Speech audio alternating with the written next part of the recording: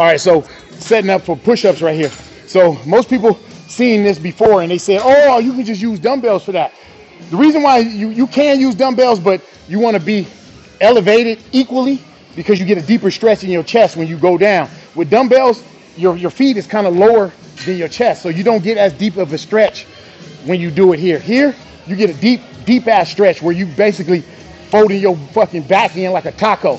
So we're gonna do uh, uh, five sets of 10. That's what Hugo said. So we're about to hit it right here.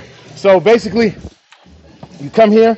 Most of you guys probably ain't got this box at your gym, but you just do what you can. So you come here and look how deep this stretch is right here.